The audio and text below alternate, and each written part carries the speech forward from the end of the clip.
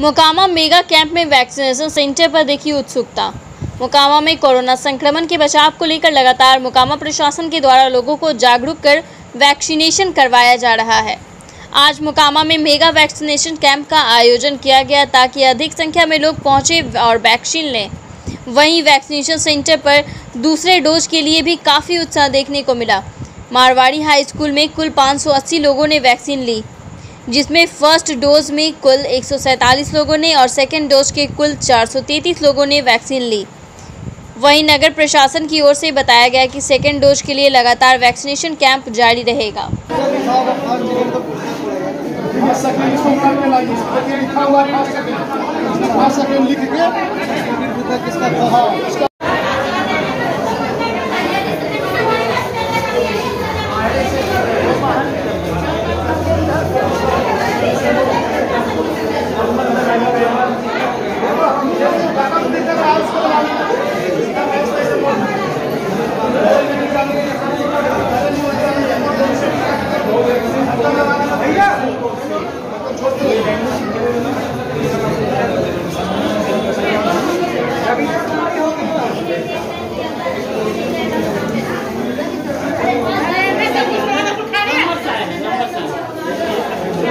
生病的厉害